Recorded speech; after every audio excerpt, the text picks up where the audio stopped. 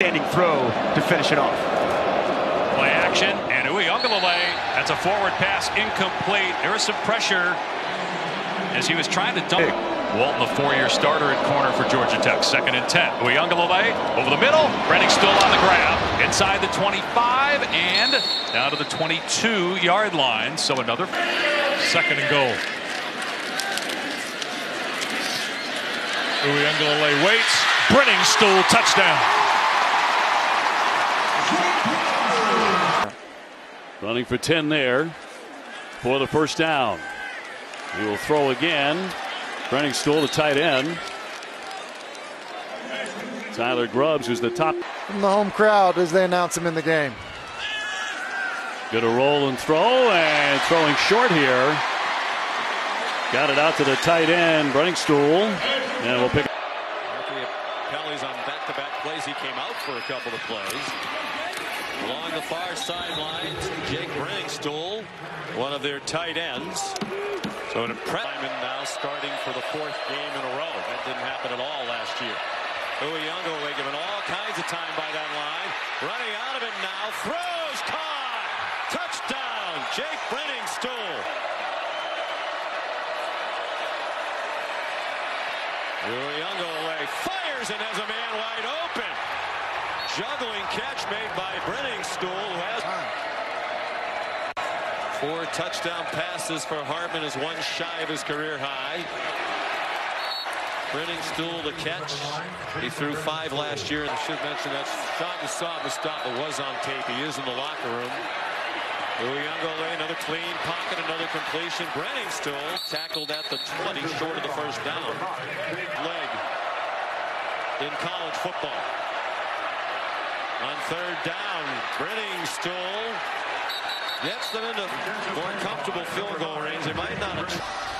Receivers bunch to the right. Uiagalelei looks into the seam and he finds that big 6'6 tight end, Jake Briningstool. They use him and Davis Allen. Receivers off to the quarterback's right. He's looking that direction and delivers underneath. Catch is made by Briningstool, the tight end, and it's a first down inside the 30.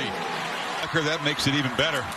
Second and goal. Uiagalelei launches to the end zone. Touchdown, Jake Briningstool. Long run in that last Tiger possession. Off the play action retreats and flips it down the middle. And it's Briningstool again, the young tight end, making a huge impact tonight. Tackled at almost always finding the end zone.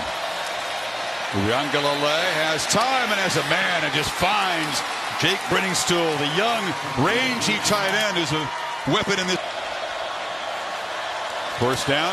Uiagalelei straight back under pressure, hit as he throws, and it's incomplete. That was Tatum Bethune on the blitz. Yeah, but this year's been different. Third down, throws from his goal line, and no chance out of bounds, way over the head of Briningstool. And Seminoles force a punt. Had to get his confidence going, so he knows exactly what he's been going through. Here's the throw on the perimeter, the catch, and this is Briningstool, the big tight end at 6'6", making the grab, close to a first down on the main. Fresh set of downs off the Clemson 42.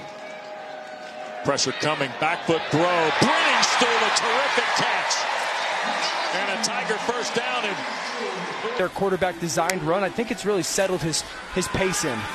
Uiagalelei looking for Shipley on the wheel route. Instead, underneath to Briningstool, and it was deflected at the line. Trotter is going to make that play no matter what.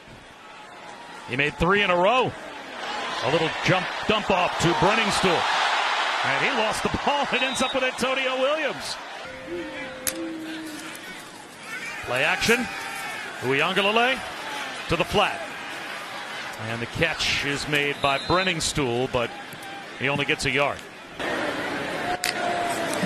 Uiagalelei with a slant right up the seam in stride. Breaking tackles his Briningstool inside the five-yard line. On third down and nine, he got hit as he threw, and it wobbled over the head of Beaux Collins. Jordan Burch. The chance before the half to uh, to really extend their lead. Uiagalelei into a crowd. Briningstool to catch the tight end short gain. And Dabo Swinney will use his first